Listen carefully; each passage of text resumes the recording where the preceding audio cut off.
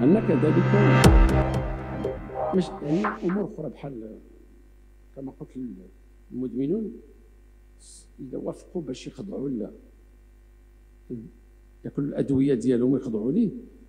إلا استطاع يحترم هذه المسألة هذه أنا بالنسبة لي ما, ما يمشي للمستشفى ويأخذ الدواء وكذا. راه كنعتبر بانه كينفذ العقوبة ديالو.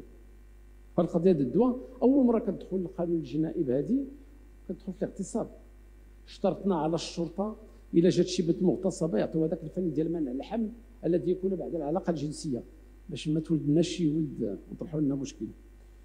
قلنا درنا في القانون دابا غادي تكون عند البوليس يكون عندهم هذاك. درنا توجه المحكمه على التاهيل المهني يمكن يجي نقول له سير دخل التكوين المهني إلا دخل التكوين المهني وكيقرأ يحضر الدروس وكيجينا من ديك المؤسسة رسائل على أن الرجل راه أن الولد راه كيقرا وكذا راه كنعتبروا بأنه كيدوز العقوبة ديالو. قبل المغادرة لا تنسوا الاشتراك في قناة العمق المغربي وتفعيل الجرس ليصلكم كل جديد. ولا تنسوا مشاركة الفيديو والضغط على زر الإعجاب.